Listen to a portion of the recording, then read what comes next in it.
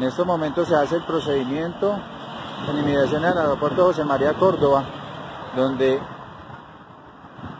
cuatro damas en compañía de dos caballeros se movilizan en la camioneta Land Cruiser de placas. Gato El Samano 584